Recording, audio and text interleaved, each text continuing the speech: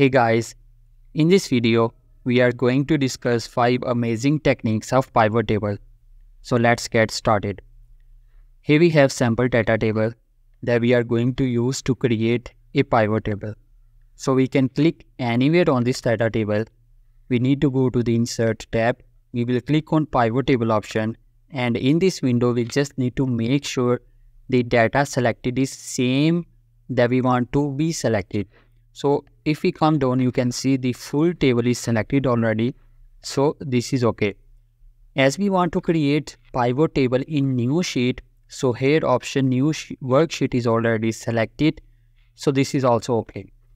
Now we can click on OK. You will see immediately a new sheet is created in which we can create pivot table as per our requirements. As a starting point, let's say I just pick customer name field and I will drop it in rows and I pick sales value and I drop it in values.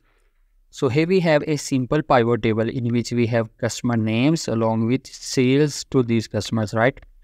Now, what is the first technique of pivot table? The first technique is in pivot table, we can create new custom fields. As we have here customer names along with sales values, let's say we want to add here sales tax field. If we come to pivot table fields, we don't find here sales tax field, right? So how we can create here a new custom field that is not available here? We suppose that sales tax is 15% of the sales values. So we know that which field we want to add here. We want to add here field sales tax. And we also know what is the formula of calculating that field. We know that that will be 15% of the sales value, right? So now we can create custom field. We need to click anywhere on our pivot table.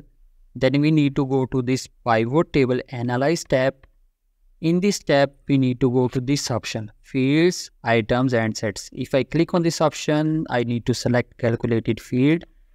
In this window, insert calculated fields, we need to fill these two fields, right? First field, we need to give name to this field that we are going to create. As we said, we want to create here field sales tax. So we can simply give it name as sales tax. So I will write here sales tax. Now next, that we need to fill we need to fill here, here formula that how this field will be calculated as we said sales tax is 15% of the sales value. So i will simply re remove zero from here. I will double click on sales value. So we have here field sales value multiply it with 15% so result will be sales tax. I will click on OK and you will see immediately we have here a new custom field. This new custom field is available in our pivot table and it is now available here in pivot table fields.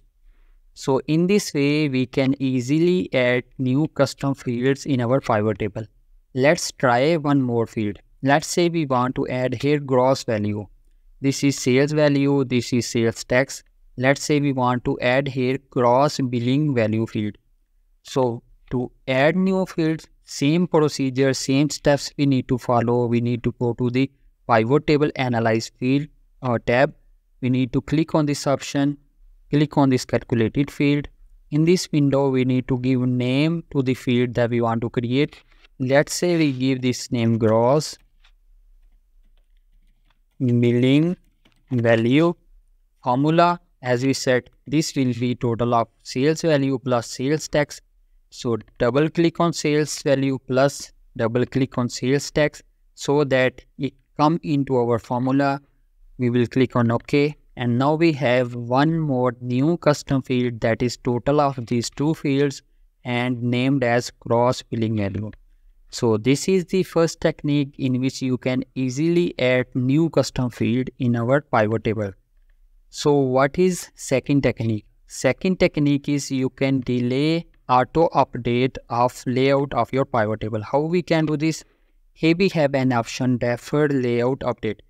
Now, as of now, we know that whenever we just drag and drop our field, our pivot table updates immediately. You can see if I just pick and drop it back the gross billing value, you will see our pivot table updates immediately.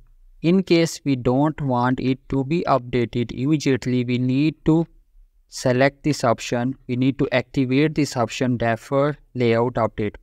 Now in this case, we have this option activated. When I will just drag or drop, you will see that our pivot table is not updated till we click on this button update. If I click on this button after this field is activated, you will see our pivot table is updated after we click on this button. So this is the second technique in which your pivot table has huge data. You just want to uh, add, drag and drop and you don't want to update your pivot table. You just make this option activated so that your pivot table does not update immediately. So what is the third technique now? The third technique is we can convert our values into different percentages for better data analysis. As an example, let's say we want to know that out of this total 100% sales, we know want to know that what is percentage of sales to this customer Al what is percentage of sales to this customer American Motors, Zahid Group, etc. So for this, what we can do, we can right click on this field, we can go to the show values as and from here, we can select any of the option, whatever we want to see. As we want to see these values as percentage of total of this column, so we right click, we go to the show values as and we can select this option percentage of column total. If I select this option, you will see that now these are percentages as compared to this 100% of the total value. So in this way, we can easily analyze that out of this 100% sales, we have 18% sales to this customer Al Ihsan, 20% to American Motors, Zahid Tractor we have around 13% and so on. So in this way, we can use different percentages for better data analysis in our pivot table. To bring back from percentages into numbers, we can do the same steps, right click, go to show values as we can go to the no calculation and you will see that values we have here in place of percentages. So this is the third technique that you can use in pivot table for better data analysis. Now the fourth technique is playing with dates in pivot table. Let's say we want to know that in which year, in which month, how much sales we have. For that, here we have a field invoice date. I will just pick and drop it in rows. Now you can see the full data is a mess. We don't understand. As we said, we just need to know uh, sales by month and year. But here we have mess. We have sales by date, right? So how we can arrange it? We can just right click on this. We can go to group and in this grouping window, we have different options. We have to, we want to we have option to see sales as in seconds, minutes, hours, days, months, quarters, years, etc. As we said, we want to see only in terms of months and years, so we can just select only months and years. After that, I will go for OK and you can see now our data is quite simple. We can easily see that in January we have these sales, this sales tax, this gross billing value, and we have sales as a breakup to these customers, right? In 2024, we have these sales, and if we come down in 2025, we have these sales, right? So this is the fourth technique in which you can play with dates to have the better data analysis to see sales in terms of years, months, etc. The fifth technique of pivot table is use of slicers. We can use slicers for better data analysis in pivot table. How we can insert slicer, we need to go to the insert tab. In insert tab under filters, we have here an option slicer. I will click on slicer, you will see insert slicers window appears. From this, here we have all the fields that we have available in our pivot table under pivot table fields window. So from here, we can click any fields that we want to use for data analysis or comparison.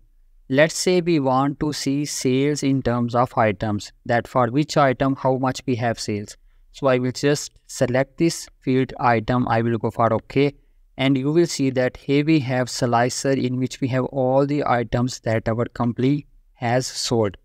So let's say we want to see how much sales we have for AC filter. I will click on AC filter and you can see AC filter. We have this sale. We have sales to American Motors and Zahid Tractor. Let's say we want to see sale of backlight item. I will click on backlight item. You will see that backlight item we have sold to these customers and this is total value of sale to each customer. In case we want to see sale of more than one items, we need to click here. You can see multi-select and let's say we want to see sale of backlight, battery, brake pads and you can see whatever we want to select, we will simply select and it will include sale of all these items in our pivot table. So this is the fifth technique that you can use in pivot table for better data analysis and to get the more benefit from your pivot table.